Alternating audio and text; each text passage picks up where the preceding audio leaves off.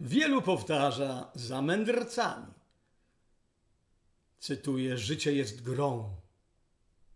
Niektórzy mówią, że jest ono podobne do gry w szachy, którą wygrywa zawsze najlepszy.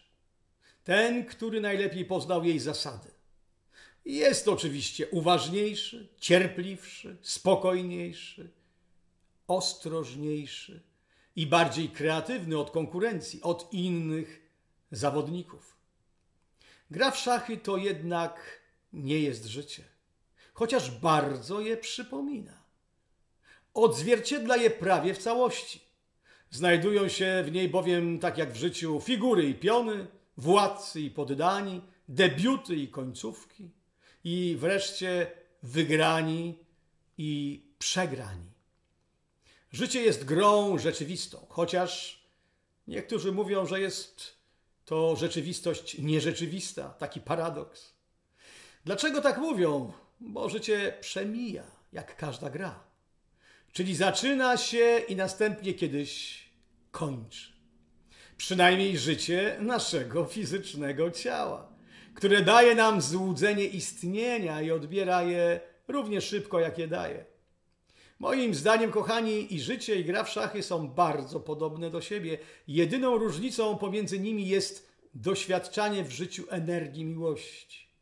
Życie to przecież miłość. Dzięki miłości powstaje, dzięki miłości toczy się w harmonii i dzięki miłości kończy się, bo nie chcielibyśmy żyć w nieskończoność na ziemi w starości. Gra w szachy miłością już nie jest. Jest za to ćwiczeniem umysłu i naszych emocji.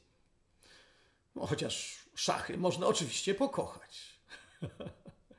Gra w szachy jest intuicyjną szkołą myślenia matematycznego, pozwalającą na rozwinięcie w nas doskonałej percepcji.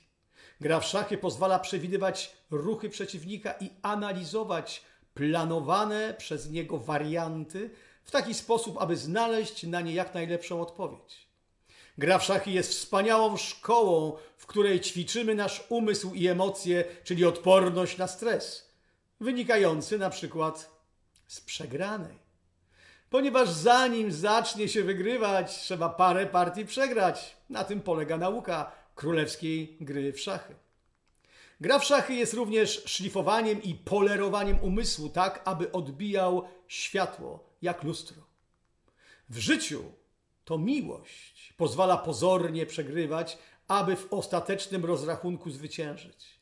Ta miłość, która jako jedyna daje bezinteresownie, po to, aby wreszcie kiedyś być może, acz niekoniecznie, coś w zamian otrzymać. Miłość, czyli nasze życie, połączone z intuicją, zwycięża oczywiście zawsze.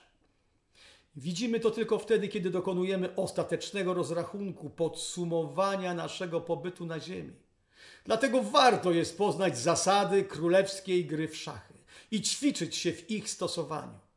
Miłość jest wieczna, jak i my, na poziomie naszej świadomości. Intuicja pozwala nam dostrzec ją i uruchomić ją w naszych sercach, poznać kierujące nią zasady. I tak jak światło przezwycięża mrok, tak miłość nadaje życiu sens. Wytycza mu cel, którym jest zawsze pomoc drugiemu słabszemu.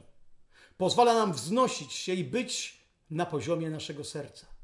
Szachy mogą stać się dla nas źródłem, z którego czerpiemy inspirację, aby skutecznie radzić sobie w życiu, ucząc nas przegrywać tak długo, aż zaczniemy wreszcie przezwyciężać słabości i zwyciężać, wygrać tak zwaną końcówkę, odchodząc do naszego wiecznego domu. Czy to nie jest kolejny paradoks? Ale taka jest po prostu rzeczywistość. Każdy musi przecież kiedyś odejść. Ważne jest, aby odchodząc był zwycięzcą, spokojny i spełniony. Mówię czasami, że celem życia jest doskonała śmierć. Tylko pozornie wyglądamy na zmęczonych, starych i przegranych. Ważne jest to, jak naprawdę kochamy. Ważne jest to, abyśmy nauczyli się przegrywać i wygrywać z uśmiechem i ciszą w sercu. Wtedy zawsze będziemy zwycięzcami. Pozdrawiam Was, kochani, słonecznie, Wedamir.